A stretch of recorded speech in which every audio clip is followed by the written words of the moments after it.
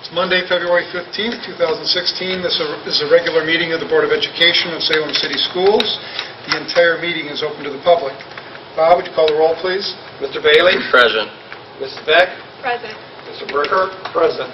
Mr. Moffett? Present. Mr. Roedlander? Present. All members are present. This is a meeting of the Board of Education in public for the purpose of conducting the school district's business and is a meeting open to the public, but is not an open public meeting. There is a time for public participation during the meeting as indicated in the agenda. Please fill out a yellow card if you wish to speak. A limit of three minutes per person to speak shall be allowed. The public may address the board only during the public request portion of the agenda. Please rise for the Pledge of Allegiance. I pledge allegiance to the flag of the United States of America and to the republic for which it stands, one nation, under God, indivisible, with liberty and justice for all.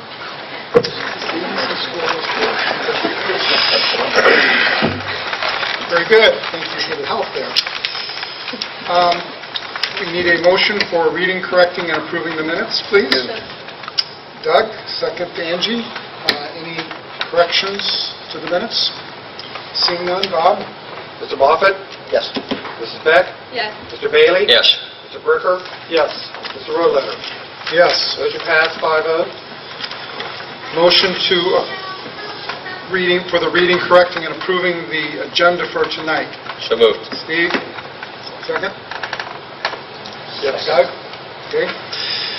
Um, We have one correction that I know of, 16148. We need to add the words effective January 8th, 2016 to that uh, motion. Any other changes or corrections? Bob, would you call the roll, please? Mr. Bailey? Yes. Mr. Moffett? Yes. Mrs. Beck? Yes. Mr. Bricker? Yes. Mr. Roedlander? Yes. Motion passed, five oh. Our first item is superintendent's report. I'll turn it over to Dr. Shivers. Um, I've been asked about what, what the difference is in standardized testing this year, uh, uh, the uh, state required standardized testing this year as opposed to last year, and um, the picture looks better.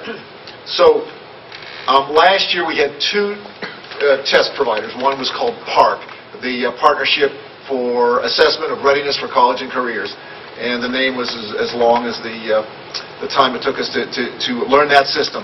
Um, one evaluation of the system, um, uh, uh, an education writer said, even, uh, who took the uh, test, uh, the PARC test, even after going through the tutorial explaining the interface, I found myself as, uh, occasionally as preoccupied with the system as I was with figuring out the math problems. That's not what we want. It was so confusing. Students had to change page. It's online. They had to change pages, remember what they saw on, on, the, uh, on, on the second page, come back to the first page, try to answer the question. In any case, PARC is out. They, last year, they uh, gave the, the uh, math and ELA, that is English Language Arts Test. Uh, That's been, uh, that contract has been given to AIR, the uh, American Institute for Research, um, that last year provided science and social studies tests. So they'll be doing all the testing this year. Um, That's the big difference. There- It's much more user-friendly. I wish that Aaron or Tim were here to explain some of the problems with hardware, with software that that we experience with PARC. Uh, So we expect that testing is going to be uh, be smoother. Um, s- uh, Uncertainty is a potent source of stress. And there was a lot of uncertainty, not just in grade three, but all the way up through grade 12. And uh, the students are uh, stressed enough about that. Another kind of minor change is schools now will not be, there's legislation pending, schools will not be punished as they were last year if students decide to opt out. If parents want to opt their students out of the test, schools will not be punished by marking, uh, by having a zero for that uh, test marked uh, on their report card.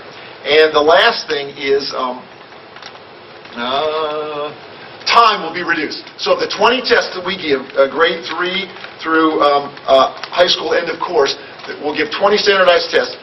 Three will have the same amount of time. Um, 16 will be reduced in time, anywhere from 39% less time to 50% less time. So that's a a great thing for us. Um, We have more time for instruction.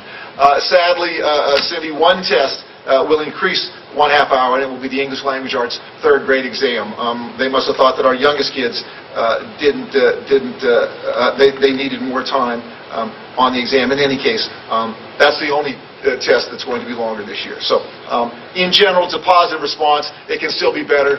My guess is there will be changes made um, in legislation uh, over the summer or or next year uh, to get the the scores out sooner, that sort of thing. Um, But uh, um, we're- we're mildly happy with these changes, particularly with with PARC uh, uh, uh, being uh, being uh, moved out. The second thing I have, we have great news. Um, The seventh grade girls basketball team finished the season undefeated. They won their league. We play in a very competitive league. And perfection is a rare enough thing. And to achieve it at any level, in any endeavor, is uh, is a remarkable achievement, and our kids did. I'd like to introduce the coach, Glenn Windrum. Um, Let's stand.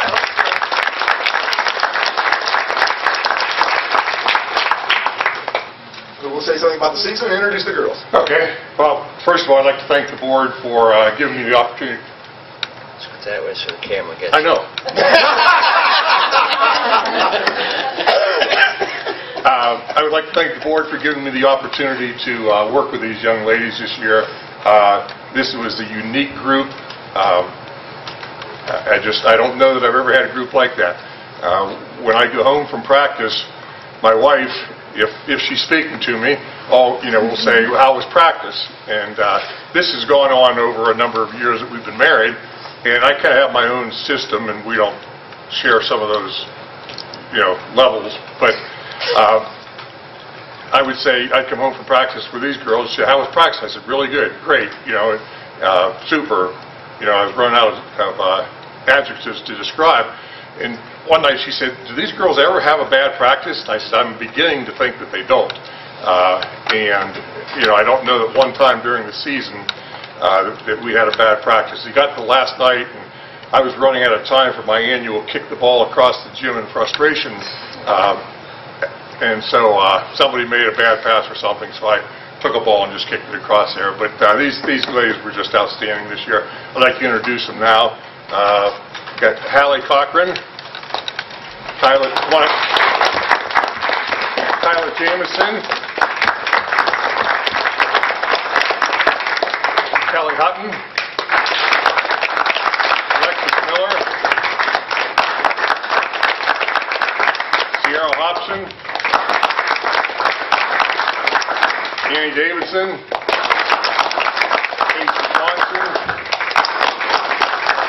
Bailey, and Hannah Henderson. I Have three young ladies who couldn't be here tonight, Elena Economist, uh, Kaylin uh, Helmick, and uh, Skylar Green. So, um, to to these ladies, I'd just like to to say that, uh, you know, your accomplishments this year, as Dr. Shiver said, uh, were, it's it's pretty amazing to go through a season undefeated, your first season in interscholastic uh, basketball, and, uh, you know, people will say, well, what what do you do for next year? It reminds me of the story, uh, go back in time, Dr. Shivers and I probably remember this, but maybe nobody else in the room here, but uh, the famous baseball pitcher for the Cleveland Indians, Bob Feller, one time he he pitched a no-hitter on opening day, and after the game, one of the writers was asking him, well, what are you going to do the next time out? He says, well, I'll try to improve on my performance from today, you know? And, uh, you know, that's kind of what these girls are going to have to, have to do. If I could just share a couple of quick stats uh, with you. Uh, Each year, my goal in coaching junior high girls basketball is to score an average of 40 points a game.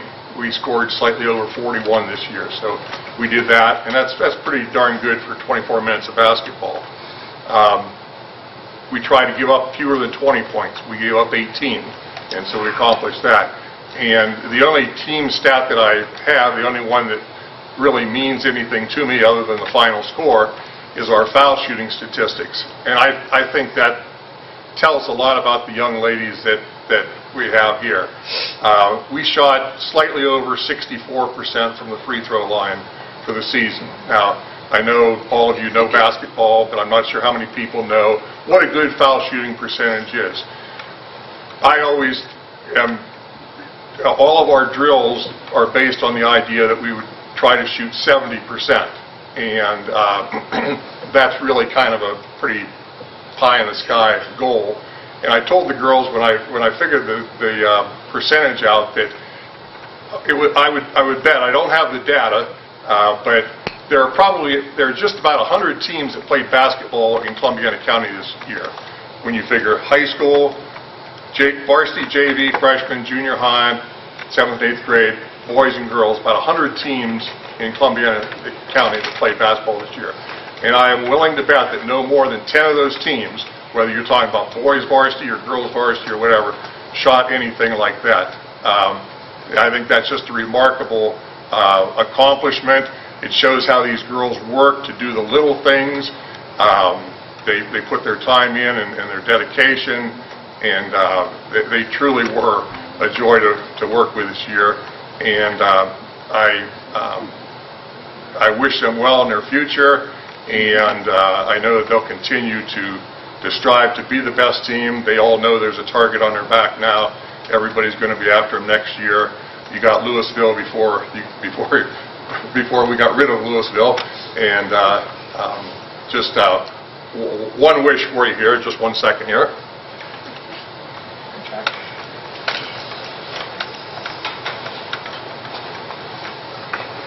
I I hope to be at the board meeting five years from now when you're being recognized for the next team from Salem got to be the Lady Quakers Final Four.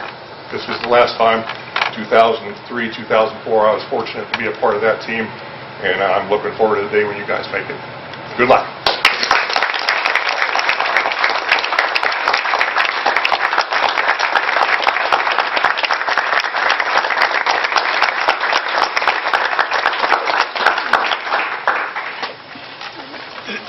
Congratulations. We'll look forward to seeing you next year. At this point, we're going to move on with our agenda, but uh, if anyone in the audience would like to leave, we'll take a short break here. Turn to get out of here, girls. You better run.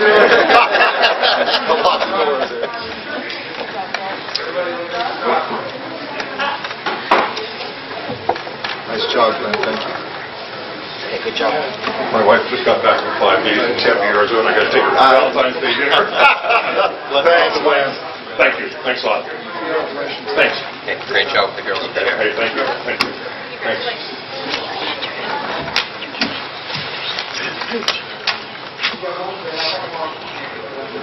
Okay, we'll return to our agenda. Uh, Next, we have um, two presentations. Uh, Cindy, are you first? You guys flip a coin? Okay.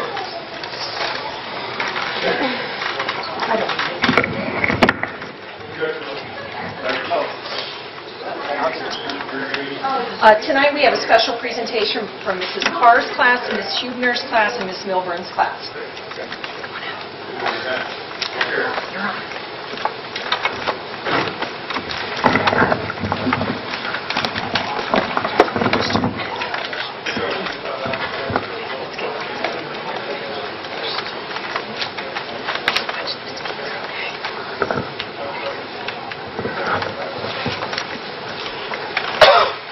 Hello, our names are Aniston, Luke, Aiden, and Kendall. We are in Mrs. Carr's class and have been studying all about economics. To help us with this concept, we decided to start our own business. We created a business plan and ultimately decided to to produce s'mores pops to sell to the students at Reilly.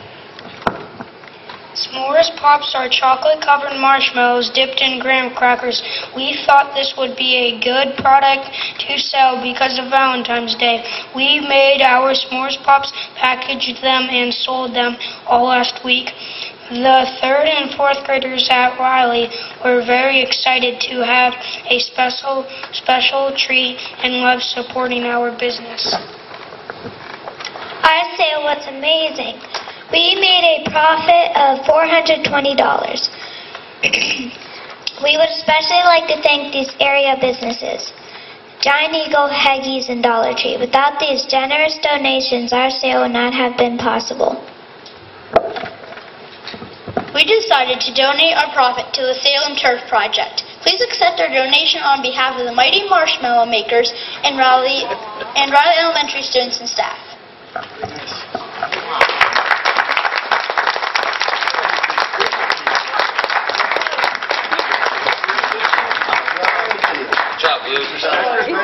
Good job, Luke. Good job.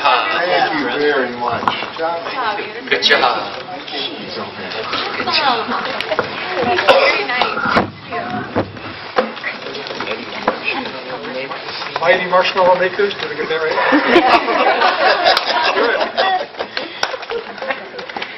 I think we can try this. Any questions? Thank you very much for coming out on such a miserable night. Oh. Kids, I'm so proud of you. Thank you. Enjoy your day off. Marshmallows. I'm kind of hungry. We should have had that macaroni.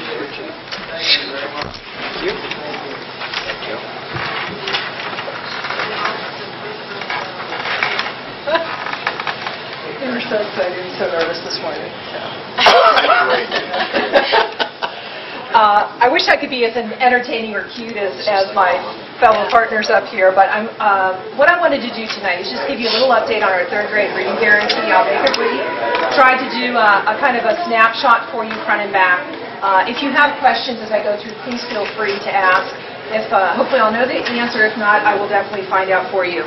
The most significant change in the third grade reading guarantee this year has just been they changed the reading assessment itself. We are in the third year of full implementation of third grade reading guarantee. It has such a huge impact on our kids. Um, And so to- this year, the significant change with the reading assessment change um, has, uh, has, has been a big change for us. So to make this easy to understand, I made two columns, uh, what we uh, dealt with last year and what we are dealing with this year as far as the actual assessment. Uh, In the past, we have done uh, the OAA as our reading assessment, which only assessed reading. This year, as Dr. Shivers already told you about, we are uh, switched over to the AIR ELA, English Language Arts. So it is both reading and there is a writing component as well, where the students are asked to write a, from a prompt, one to three paragraphs on a particular topic. In third grade, that is a lot. Um, The, when we knew that the AIR test was going to be the new assessment, we were anxiously waiting them to release sample questions. Sample questions are important for us. Uh, Not that we teach the test, but we want to prepare our kids for the types of questions that are going to be on the test. Uh, Kids can miss questions, not because they don't understand the content, but they don't understand how the question is is being designed and, and how to actually go about um, answering such a question. Uh, the questions were released late October, and they released seven questions. Out of the seven, there was one writing prompt, one extend or a short answer, and five multiple choice. But when the test came out, the, there were many different types of questions that weren't released. So with the OAAs, it was something that we were comfortable with. We've had it for many years. We had many samples. So we are in the beginning process of this. Uh, And I think the most, many educators that I I have spoken to, um, both principals and teachers, we all agree it was a very challenging test for our kiddos. Uh, And again, it's challenging because it's new and it's something that we have to get used to. Uh, The test administration um, was a little bit different. Last year in the OAA, we had one day, and they had a maximum of two and a half hours to complete the test. This year, there are two parts to the test, Uh, so it spans over two days, uh, only an hour and a half for each day.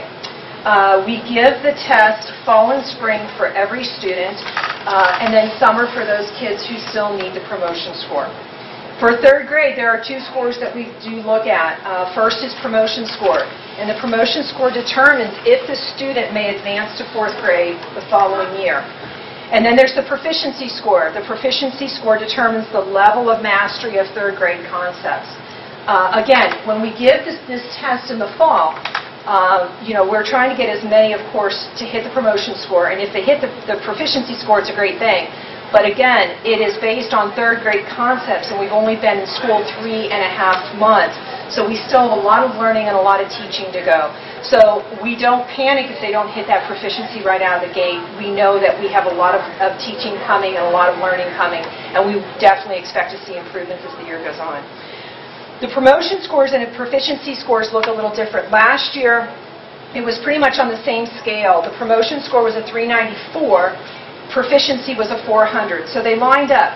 Uh, What they did was, is they knew that proficiency was 400. They dropped it down a few points, saying that even though they didn't quite make proficiency, it was close enough that we could fill those gaps in in fourth grade. This year, it was, a- the scores look a lot different. If you look at the chart, the promotion score is a 42, and a proficiency score is a 700. Their explanation for this is that uh, the 42 is based on the reading section only. They took the writing section out to come up with that score.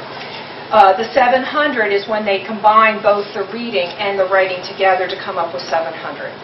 So those are the scores that we're looking at. Now, the state also, what they do not want is thousands and thousands of third graders being retained.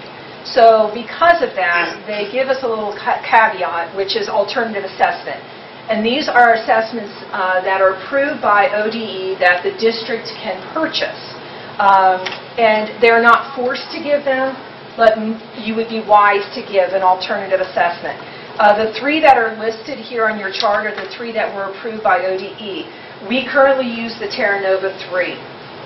We are able to give an alternative assessment twice throughout the year and once in the summer. It gives the students an extra chance to hit the promotion score. This has nothing to do with proficiency, but has everything to do with promotion. Um, What we end up doing is, is once we get those scores back in the fall, from the fall scores, we go right into the mode of, let's give you the alternative assessment. And I will share with you the results. We already gave the Terra Nova. We we ended up getting the results back from the AIR ELA January 29th. The That was a Friday. The following week, we were giving the Terra Nova. We finished it up last week. It is very important for us, if there are kids in jeopardy being retained, to give them an extra chance right away. Um, And then what we will do is we'll give this, the AIR ELA will be given in the spring, and then in May, beginning of May, we will give the other alternative assessment to those students still needing it, and then, of course, there will be summer school. Uh, We do not get the results back from the spring uh, ELA uh, test until about, I think it's the 16th of June, and then they give the July test, like July, I think it's 11th this year. So by the time you get those scores back, you have a very short turnaround to start your summer school and get, get that remediation going. Uh, It's a tight turnaround. But that is how the system is set up. Are there any questions about last year to this year, anything before I go on? I don't want to assume that. Who grades the tests? Are they all computer-based, or are they, Are, you- uh, the, as far as the AIR ELA? e- yeah, any? Yeah, the AIR ELA is all something that we, is they put their answers in, in the book, we send them out. Now, with the Terra Nova, you have to contact the publisher of the test. Terra Nova 3 is a, is a full battery test. It has not only reading, but it has grammar, it has so- social studies, science, and math. It's a full book. And it's all multiple choice. There is nothing, you know, really too subjective about it. So when we contacted and we ordered all the books, we talked about grading and how do we send them in, and they said, actually, you can purchase the scorebook and the norms book, and you can grade them yourself, because they are all multiple choice. There's nothing there, you know, and because you're only using part of the test, uh, it would be silly to pay the the scoring fee. The ODE gives you the score and of of what it is, and this year it's 599, last year was 596. You look in the norms book to see how many they have to get right on there, and that's how we go about with the alternative assessment. It's a little bit different. All right, are we okay? All right, when you turn over, these are the actual results. The first chart talks about the total number of students that were given the ELA test. This was in December of 2015. Uh, Total number of students, 144. Those are 144 students sitting in our third grade seats. If they're a third grader in our building, everyone takes the test. Um, The next one says, earn the promotion score of 42 or higher. We had 170 107 students who earned the promotion score of 42 or higher right from the get-go. But what that did was left us 37 students who did not. Those are the kids that we hone in on right away, because at that point, they are still in jeopardy of of being retained. Now, we are still very, very early in the race, but it is something that we're not comfortable with. We want to make sure that we get as many of them passed as possible. So as I said, the following week, we started administering the Terra Nova. The one thing that we need to know is just so that you can line up the numbers, um, 37 students did not uh, score their promotion, but four of those are exempt due to IEPs. So because of their, they are exempt, we do not go ahead and give them the Terra Nova. We do not need to retest them anymore. They are exempt. Okay, after we gave this, the, so we ended up giving 33 students the Terra Nova test. Um, After we completed all the tests, 28 students earned the promotion score. So we took that, that 33 and got 28 of them to pass, okay? And then that left us five who yet, who still, we are still working on. Those are kiddos who are intense intervention, absolutely, and that we're watching out for. Um, Ironically, out of the five, four of them are ELL students. These are students who work very hard in the classroom. When we meet with the teachers, they work very hard. They're making great gains and are actually doing very well. But they have an added layer of challenge because not only are they learning our, our language, but it's the experience stuff that they're reading about to try and put the pieces of the puzzle together. So with more exposure to our language and to our stories, um, you know, we are confident that, you know, that they will, you know, continue to improve. And we'll take them as far as we can, we can take them. They work very, very hard, and, and like I said, our teachers are very much committed into helping them, uh, you know, grow uh, as far as we can, we can get them to grow. So that is where we're at right now. Like I said, we take that five very seriously, and we will continue to work very, very hard with all of them. Uh, As far as the number of students earning proficiency, we had 42 who got that 700 score. Um, Again, it's it's not a great number, but it's a number that that is not unexpected, I believe, with the change of the assessments. So I wanted to give you a little bit of reference as far as where we're at, where we're at with the state. Uh, State average for promotion score, um, basic promotion score is right around 47, we're right there. State average proficiency score is a 683. We're at a 680, so we're in the ballpark. We've got to get them to 700. Again, with more exposure and, and, and all of that is what we're hoping. We also brought um, in the county, we had two consultants come in on February 3rd. Uh, They were able to give us some additional training, and they have a little bit of knowledge that they kind of get before us, so they were able to share that with our teachers. Um, The state is not uh, releasing any more sample questions now for the spring. What's out there is what's out there. So we have seven questions which makes it very hard. Um, But one thing that they found out in their research is that AIR also provides Florida with the English language arts test as well. Florida has published on their uh, website some- a practice test. Now, it's just one, but it looks very similar and will give us a a few more sample questions to look for and to have our our teachers kind of start mimicking some of their assessments, just to make our kids more comfortable with that. So that is one more piece of resource that we're, we're adding to that as well. Any questions, anything I left out, or any clarity that you need? I just wondered with some of the cultural shifts that we have even coming up, how there's going to be a larger number. I just wondered how all this testing, I just wondered how that was going to work with getting Right. them Well, on. I'll tell you, the one thing that, that um, it makes me very positive and and makes me very happy is just when you, when we sit down and we talk about the kids and the progress that they're making in the classroom, it's leaps and bounds. It's amazing how much we can take them in a short amount of time. So that is why I'm saying, when we continue to work hard and and just, we, in these intensive reading groups, um, I think the largest class that we have is nine.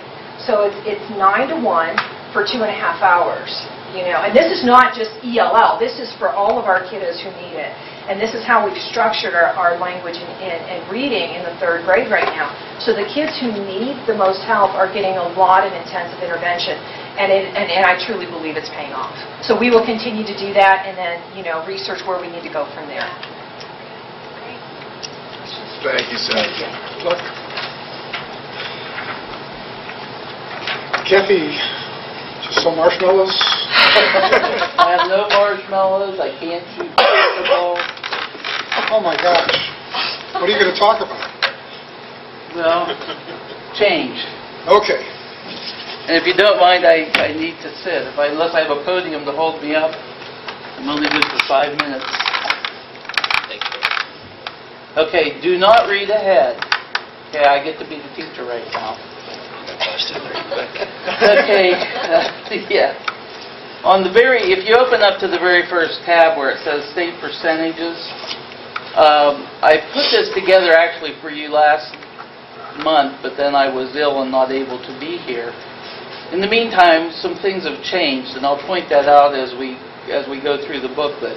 But I tried to create this for you so that you would have something to refer back to uh, if you get some questions, uh, once the actual report card hits the news, which is supposed to be at the end of this month. But this very first section on state percentages, uh, the old standard for all of our OAAs and OGTs used to be 75%. They raised it in the year 13, 14 to 80. Okay, we still perform very well at that level. I think we only had like one subject area that we, that we didn't meet the standard. But now, if you look down, they've changed it for every single subject area. And if you'll notice, the PARC test, 65, 69, 64 in math and language arts. Uh, The AIR and social studies was a 70%. So it's no longer immediately obvious when you look at a bunch of scores on a paper whether or not we had a passing score. So please try to, try to be aware of that, uh, that the, the game has changed somewhat. As you turn to the next page, you'll see that grade 10 English, uh, writing, math, science, social studies, and so on for 10 and 11 are the same as they were before. That's because that's the old OGT. We're no longer giving that. Okay, they're now uh, doing the end-of-year exams in the, in the different areas. So that will be probably the last time we'll see those. We'll probably see an 11th and a 12th grade score, but we will no longer be seeing the 10th grade scores. They did list uh, percentages for the end of course exams. We did very well in the Algebra 1, um, and we also did well in geometry. Although geometry was a very select group, only freshmen took these tests last year. Uh, So it was only the freshmen who were really accelerated. We had a very small number, but they, they did well. Okay, the components are listed on the next page that will be on the report card and whether or not there will be a grade for them. We were going to look at achievement, in fact, we will look at it. Uh, However, it's been removed from the website and it's no, the statistics are no longer available in the secure data center. And there's a reason for that. So achievement, the performance index and the indicators met. What I have in here for last, a month ago, are no longer credible. Gap closing has not been released yet. The progress, which is based on value added, has not been released yet. The graduation rate is, we will take a look at K-3 literacy, I'll try to explain, and prepared for success, I have some ideas on some things we're working on uh, to improve that, although we will not be getting a grade in that one. So then they give us some information on why the delay, but um, then they point out something that Joe mentioned earlier. It says, "There no longer will be consequences tied to the results of the state tests given in 14-15 and 15-16." And it says, "Additionally, the teachers and principals will not use the value-added rating from the state tests for for those years as part of their evaluations." These had been tied to teacher and principal evaluations. However, you have to have two consecutive years of data to get one value-added score. Uh, The chaos from last year that Joe mentioned with the PARC, uh, and the fact that that that testing has exited and another one has has been brought in, uh, the fact that a number of students opted out, uh, well, I'll point that out when we get to the achievement scores, but uh, districts have, um, actually, someone actually uh, proposed a bill requiring ODE to issue two sets of scores, one that includes opt-outs and one without the opt-outs. And so I'm wondering if that's why these scores have been pulled, but I will show you how it affected, how the opt-outs affected our scores when we get to that page. The next section is strictly for you, and it's on each of the sections of the report card. I'm not going to read this to you, um, but it goes through achievement, indicators met, performance index, which we'll look at next, uh, progress, how that is calculated, the graduation rate. Uh, What hurts us here in Salem is people who drop out or disappear. It's a transient population. Um, They use the div- the divisor is the number of students, the students who started as freshmen. So if you have kids that who drop out or kids who go somewhere else, but we don't, if they transfer, we're fine.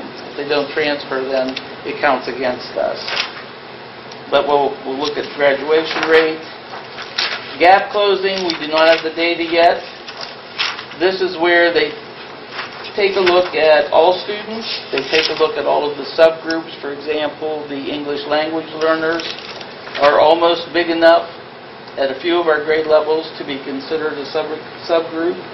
Uh, Blacks, Hispanics, but primarily it's the economically disadvantaged student subgroup and students with disabilities, which we have a difficulty showing the same level of progress with them as we do with the normal population. But anyhow, that data is supposed to be at the end of the year. K-3 literacy I'm going to address, and also understanding the prepared for success I will address, even though we don't get a grade for that. I'm trying to go quickly because I know your meeting's running a little behind. Okay, pull the tab that says um, Salem results. Okay, I also didn't present this to display because of the fact that they're probably going to change. Um, These are not final data by any means, especially since these are the ones that they've pulled from the website and we can no longer access them. I put notes in the right-hand column for you.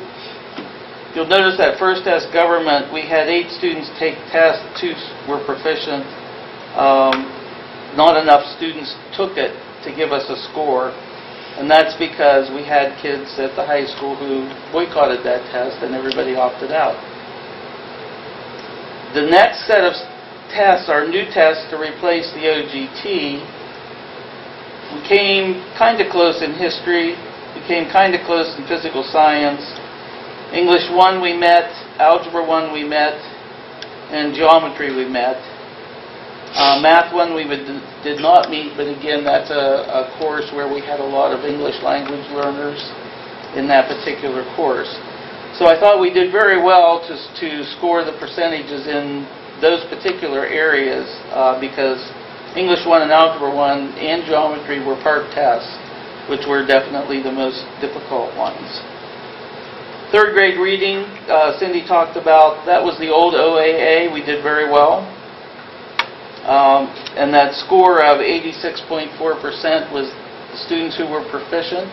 There were additional students who took the Terra Nova, who met the third grade reading guarantee, and I think we ended up with two students at the end of the year, one who was being tested for special education, and the other one moved from the district before we could test him again.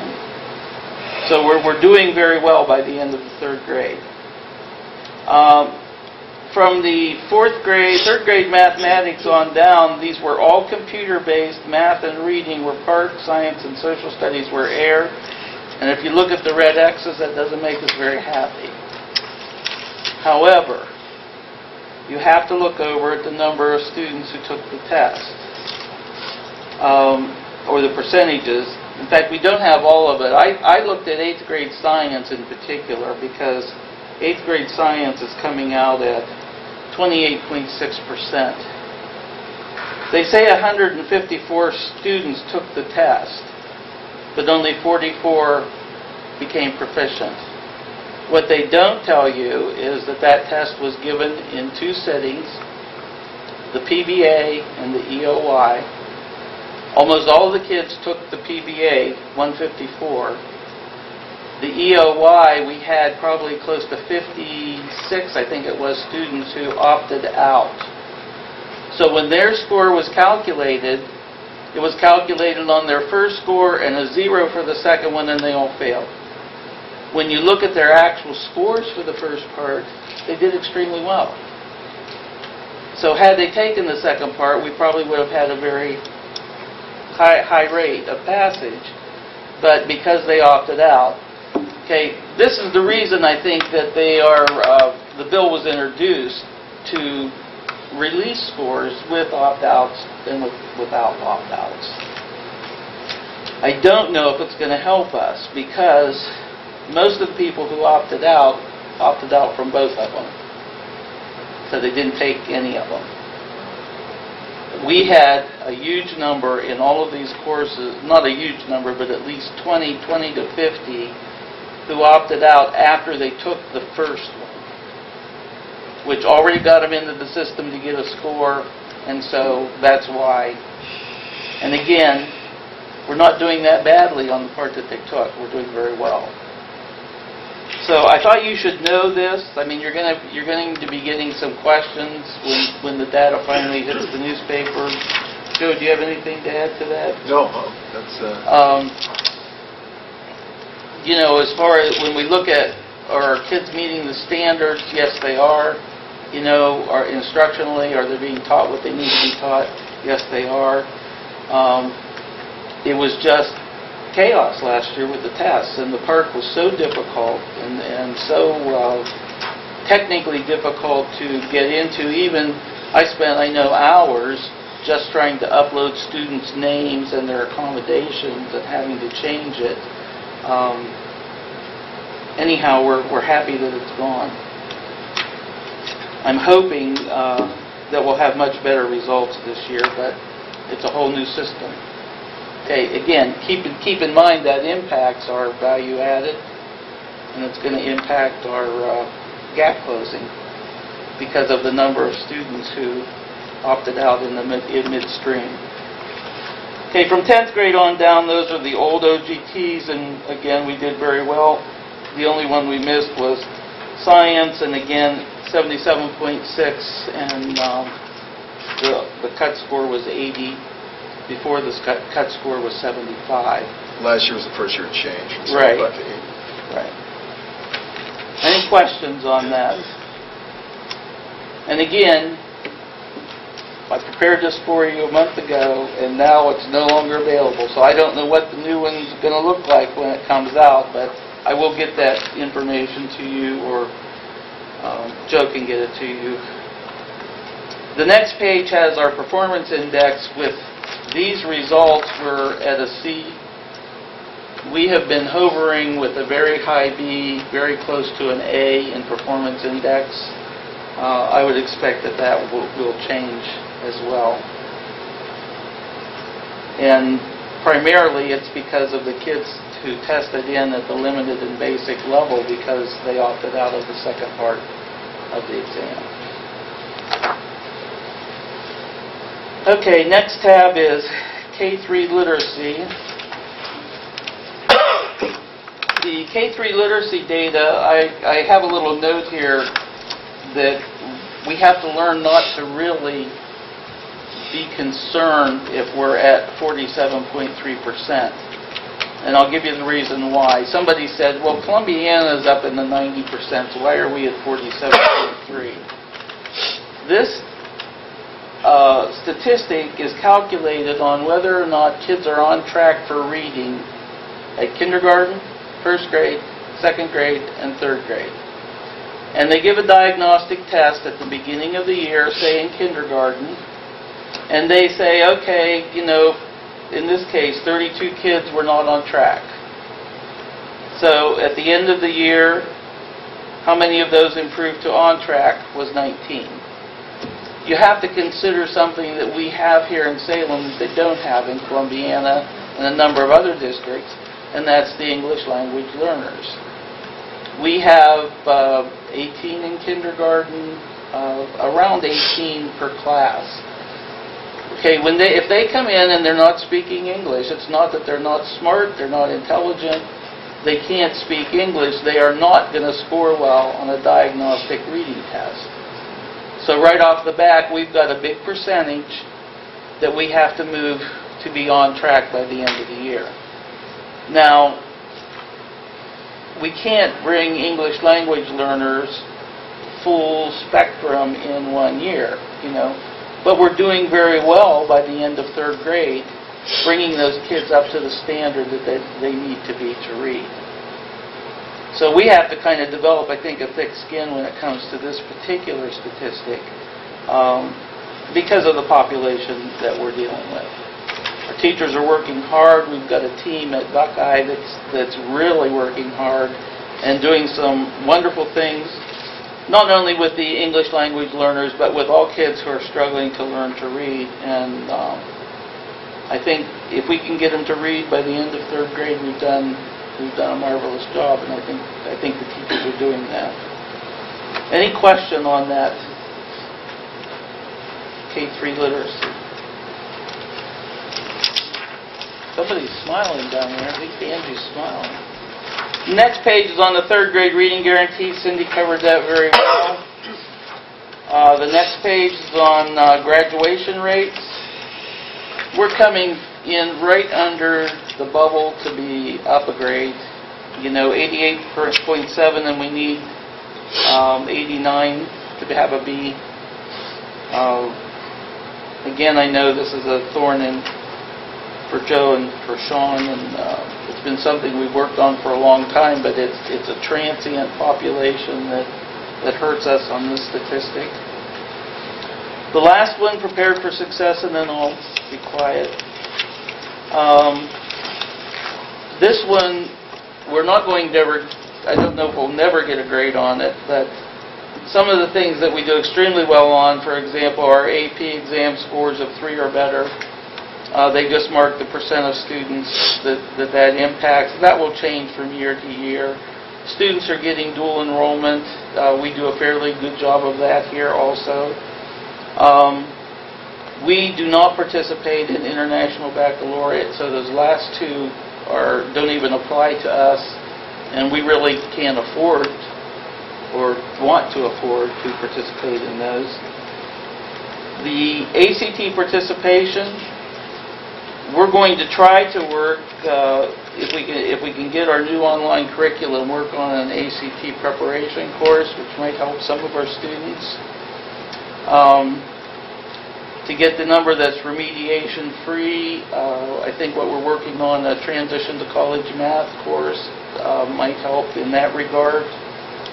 But the industry-recognized credential, uh, right now, this says zero and a zero percent. I think we have a few who were in Mr. Bedino's class last year that did get an industry credential.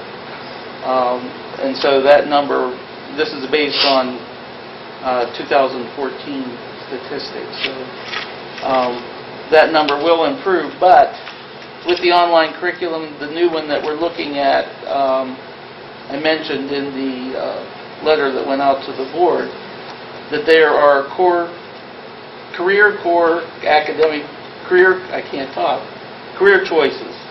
Uh, That there's three, four major areas, I think 12 programs, and all of them have an industry credential available to the student at the end. So we're trying to um, implement that program not only with our options kids and our Quaker Tech kids, but also try to market it to the to the Quaker Tech community, the kids that are in those online programs. If we can give them a diploma and some kind of an industry credential, it's not only going to make us look better on this particular report, but it's also going to be uh, be better for some of the students, some of the students, uh, kids in the middle. Questions? Okay, again, you've only got maybe, what, 40% of the data?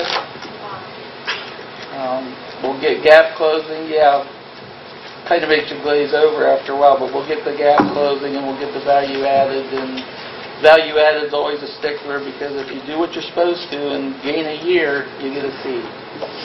So, Kathy, is there any data out there that shows you how many kids opted out of these different tests? yeah, we have all those numbers. So we can, Yeah. And actually, what I, what I did, uh, which we wouldn't like publicize, but I pulled the list of the kids. So I have actually every student's name, like that took eighth grade science, and did they take the first part, they opted out of the second part.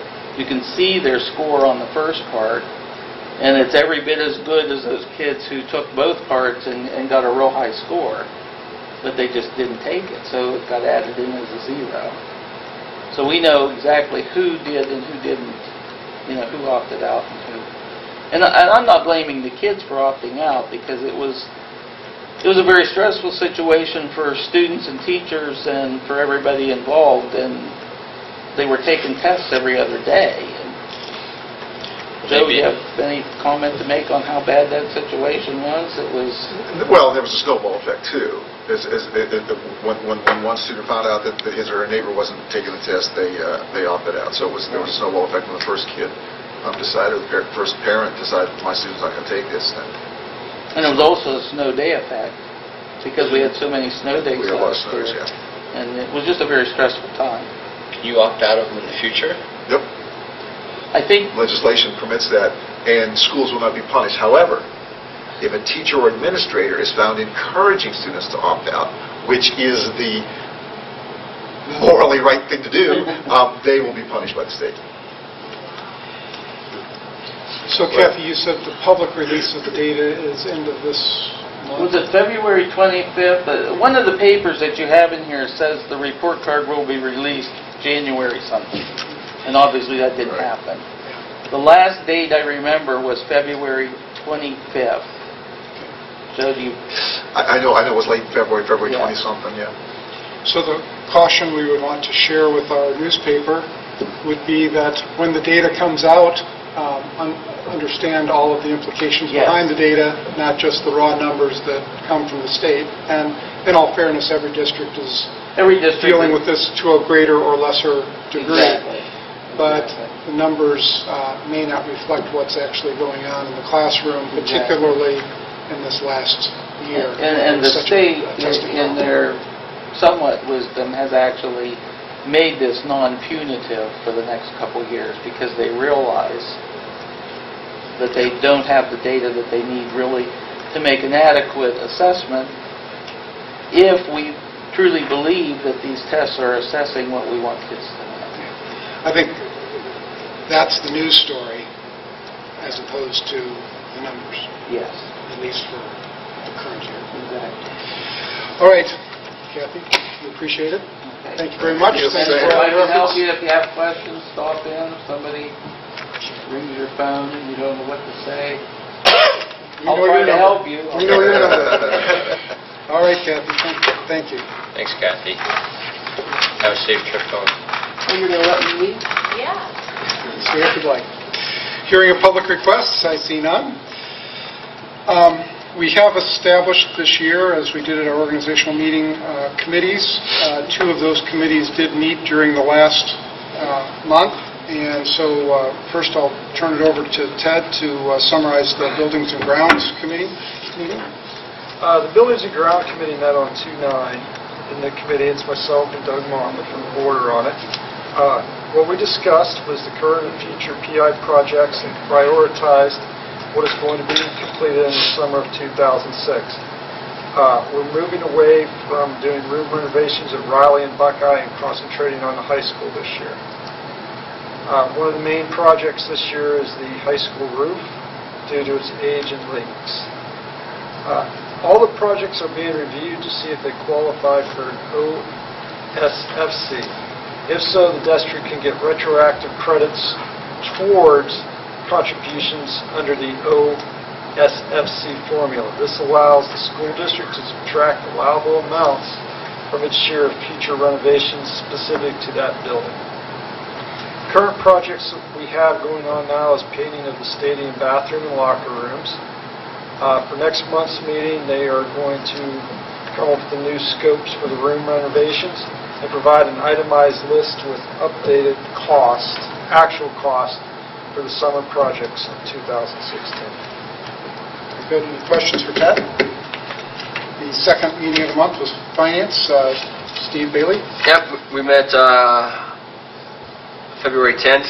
Um, Me and Ted are also on that committee. Uh, Howard was there also.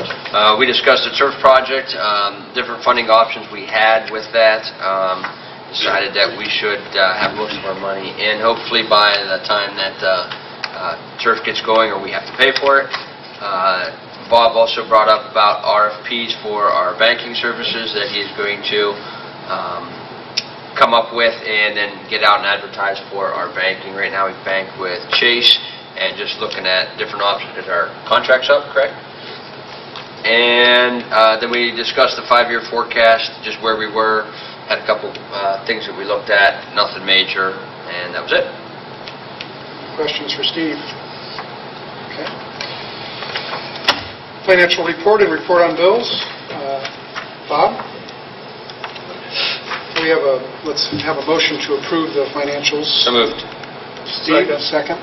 Okay, Bob, go ahead and clue us in. Okay, uh, for the month of January, um, the school district received $731,949 in foundation and our semi-annual casino money. We've got about $51,000 out of the four casinos and racinos. So, you know, I guess they're helping education like the lottery uh, did way back in the 70s. There we go. Um, In expenditures, general fund paid $831,788 in salary and fringe benefits. District spent 69% of its supply budget, and that's about in line, right from now to the end of the year, that will slow down. Open enrollment in was, uh, we received $38,755, out 110,317, with a net loss of $71,562. The community cyber school deduction was $30,734. Um, If you remember the one chart that you have in your package, it shows the balance.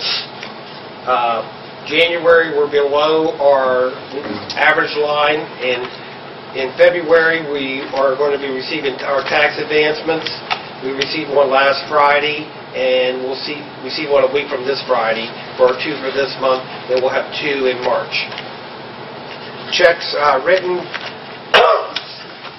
numbers eight, um, 87,421 to 87,596, and one 160, 107, and 162, 901 dated January 1st to January 31st, 2016, totaling $1,481,171.53. Any questions? Questions for Bob? Bob, uh, would you call the roll, please? Mr. Bailey? Yes. Mr. Bricker? Yes. Mrs. Beck? Yes. Mr. Moffett? Yes. Mr. Roederer? Yes. Motion passed oh. 5-0. Next on the agenda is approval of the consent agenda for February. I Need a motion, please? Doug, second. I'll second it. Angie, um, any questions about the consent agenda, comments? Bob, would you call the roll, please? Mr. Moffett? Yes. Mrs. Beck? Yes. Mr. Bailey? Yes. Mr. Bricker? Yes. Mr. Roederer? Yes. Motion passed oh. 5-0. Executive session, the superintendent recommends the Board of Education adjourn into executive session for the purpose of the employment dismissal, discipline, promotion, demotion, or compensation of an employee or official or the investigation of charges against an employee or official or regulated individual unless the employee, official, or regulated individual requests a public hearing. No action will be taken. Can I have a motion to go into executive session? So moved. Angie, second. Second.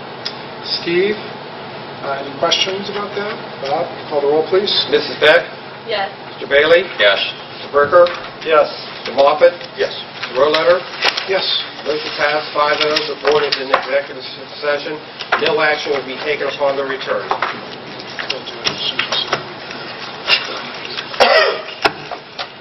Meeting's adjourned. Thank you, Bob.